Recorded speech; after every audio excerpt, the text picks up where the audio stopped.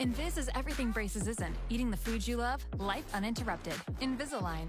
Allie Williams here with your highlights from American and Washington. Bottom first, Aidan Morton ropes one out of the outfield to get on. He gets to third, and now Brandon Jeung at the plate. Strike three, but it's dropped, and Jeung hustles to first. Meanwhile, Morton comes diving in to put the Huskies on the board. Top of the second, runners on second and third for Lee Beye. He shoots one down the third base line, and it keeps going.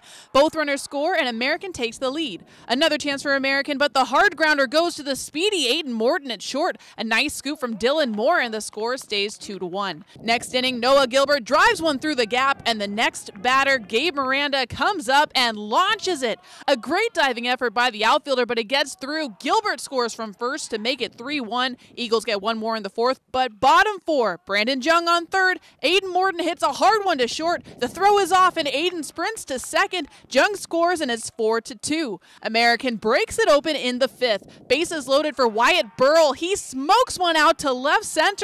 This one will score two, and now two are on for Riley Carpaneto, who follows that with the hard shot through the infield to score another. And then Lee Beye puts it in play. Second baseman gets the out at first, but Burrell has time to score. One more run after that makes it a five spot in the fifth. Eagles score once more in the seventh as American goes on to win this one 10 to 2.